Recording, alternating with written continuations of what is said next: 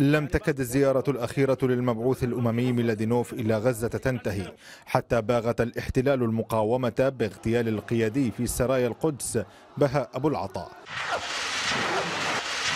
اغتيال غير المعادلة الميدانية في قطاع غزة الأمر الذي انعكس على مسيرات العودة. فللأسبوع الثالث على التوالي يتم تأجيل التحركات على الحدود ضمن قراءة. يقول مراقبون إنها مرتبطة بالتطورات الأمنية. فرئيس وزراء الاحتلال يعيش أزمة سياسية قد تدفعه إلى الإفراط في استخدام القوة ضد المتظاهرين.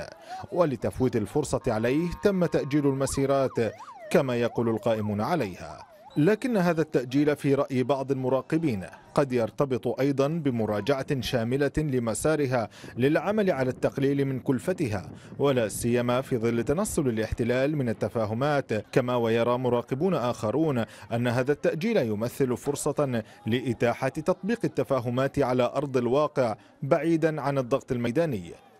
تفاهمات ينضوي إلى عنوانها. المستشفى الميداني الأمريكي والذي يتم إنشاؤه شمال القطاع حيث تقول حماس إنه سيسهم في تحسين الوضع الصحي للمرضى وسيخضع للسيطرة الأمنية والإدارية الفلسطينية. لكن الصور الواردة من عملية إنشائه أثارت جدلا في الشارع الغزاوي. لكون هذه العملية تتم بأيد أمريكية يتوجس الفلسطينيون منها. في ظل السياسة الأمريكية المنحازة للاحتلال. أما في ملف الجنود الإسرائيليين الأسرى فالحديث المتزايد في وسائل الإعلام عن حراك فيه تقابله حماس بتكتم شديد. وفي بعض الأحيان هناك نفي للمعلومات الواردة حول وجود صفقة لتبادل الأسرى.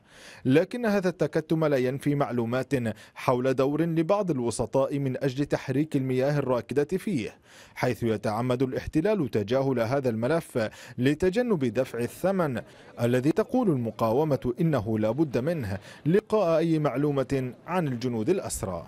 ورغم التطورات السياسية والميدانية فإن ما يهم الغزاويين هنا هو كسر الحصار وإنهاء الانقسام وتثبيت معادلات تمنع الاحتلال من التغول على الدم الفلسطيني ولا سيما في ظل تردي الواقع الدولي والإقليمي. أحمد شلدان غزة الميادين.